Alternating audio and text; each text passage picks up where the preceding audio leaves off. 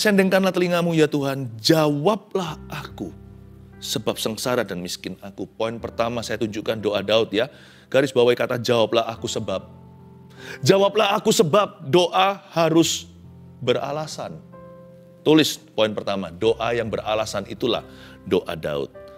Jawablah aku sebab sengsara dan miskin aku. Daud mengakui keadaannya dan Daud menaruhnya dalam kata-kata yang jelas. Tuhan, aku ini sengsara.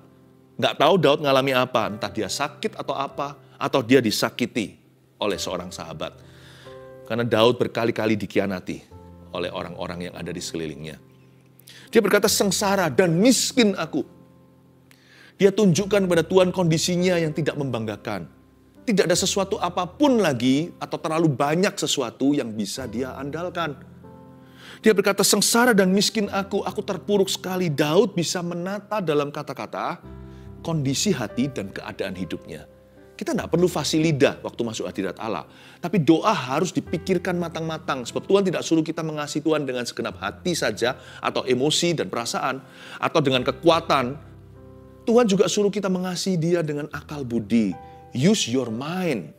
Pakai akal sehat kita. Waktu kita berdoa supaya plong hati, taruh dalam kata-kata, nggak harus fasilida. Kan bukan untuk ditunjukkan ke orang lain. Tetapi untuk mencurahkan hati kita, Tuhan pakai satu sarana juga, yaitu kata-kata yang keluar dari pikiran yang menata. Dan taruhlah dalam kalimat-kalimat yang sejujur-jujurnya dari hatimu terdalam.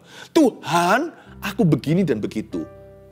Sebab kata-kata itu nanti akan kembali pada dirimu sendiri, sehingga kita bisa introspeksi dan kita bisa menata perasaan kita. Kata-kata itu akan menjadi guideline atau menjadi tongkat penuntun kita saat berdoa. Sehingga nanti kita juga bisa tahu bagaimana doa kita akan dijawab. Ketika dijawab oleh Tuhan, kita bisa melihat benang merahnya. Makanya biasakan kalau berdoa itu bukan asal-asalan. Dan doa yang salah juga akan ketahuan Masuk hadirat Allah, marah-marah. Doanya pakai emosi. Yang maksudnya emosi di sini bukanlah terharu di jama. Emosi di sini karena luapan hati yang marah sama Tuhan. Kecewa, tuding-tuding Tuhan. Doa seperti itu tidak intelektual. Karena doa seperti itu terbawa emosi.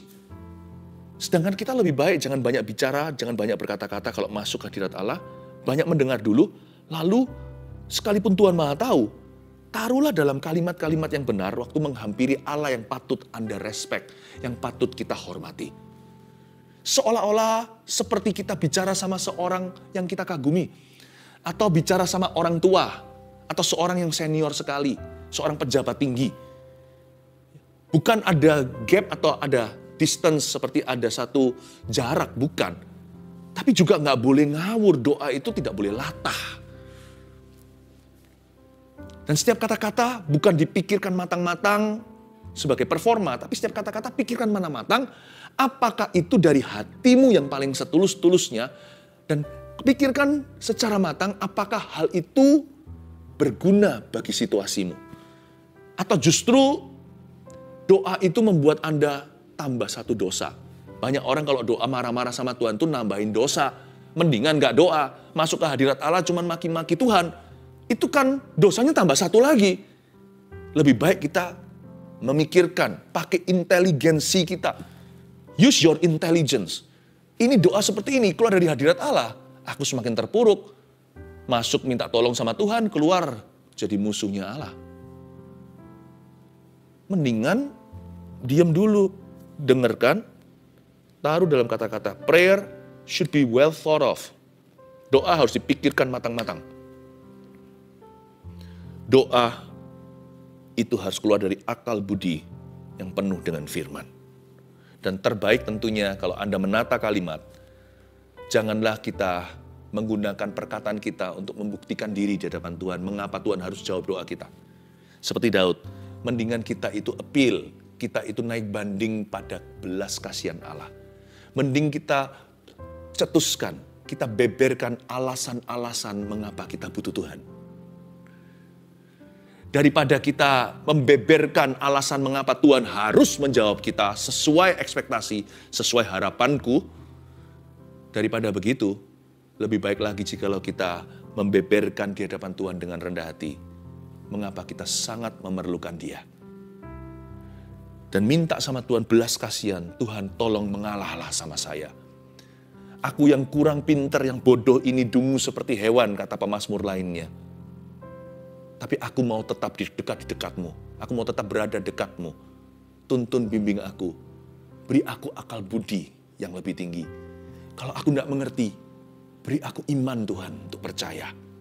Kasih aku ketabahan dalam jiwa agar aku jangan berdosa dengan mulutku di hadapanmu. Ajari aku untuk bersyukur kepadamu. Tuhan, engkau tidak harus jawab aku, tapi sendengkan telingamu. Aku ini gak tahan Tuhan. Kalau bukan engkau siapa lagi? Sebaliknya jangan begini. Kenapa engkau tidak menolong aku? Aku teriak-teriak juga tidak didengarkan. Kenapa engkau memberiku telinga yang tuli? Kenapa engkau tidak mengindahkan setiap doa yang keluar dari mulut saya? Jangan begitu, tapi lebih baik Tuhan, kalau bukan Tuhan, siapa lagi aku pergi? Kepada siapa aku datang meminta bantuan? Tuhan, aku memang bukan siapa-siapa, aku tidak layak. Tapi Tuhan, aku ini anakmu. Belas kasihani aku ya Bapa. Pada saat aku tidak paham, Tuhan beri saya kasih karunia untuk bisa tetap tinggal dalam hadirat Allah. Sekalipun aku seperti dungu aku dungu seperti hewan. Tapi Tuhan kasih aku roh yang sabar. Hingga nanti engkau akan menunjukkan pertolonganmu yang ajaib. Bantu aku percaya kalau segala sesuatu akan indah pada waktumu, bukan waktuku. Dan beritahu aku step-step langkahnya. 100 meter ke depan jikalau aku tidak bisa lihat kilometeran. Apa yang harus kulakukan? Atau apa yang jangan? Bantu aku melihat yang short term dulu, yang jangka pendek. Jikalau jangka panjang masih misteri di depan. Dengan begitu, Anda berdialog dengan Tuhan, sekalipun Tuhan maha tahu. Anda tidak maha tahu, kita ini nggak maha tahu. Jadi dengan menata dalam kata-kata yang setulus-tulusnya, namun kata-kata yang baik dan benar di hadapan Tuhan, kata-kata yang berguna untuk situasi Anda, dengan Anda menata itu, rohmu terarah. Dan kita nggak akan berdosa dalam doa. Nanti lihat ya, masalah keluarnya, uh, solusinya lebih cepat, bukan lebih lambat. Tapi kalau enggak, sebaliknya, ma maksud hati sih mau masuk masuk hadirat Allah cari solusi, malah komplikasi. Doa yang beralasan itu doa Daud. Kalau Anda baca sendengkan telinga lalu dari kalimat, jawablah aku sebab. Jawablah aku karena kita tahu dia beralasan.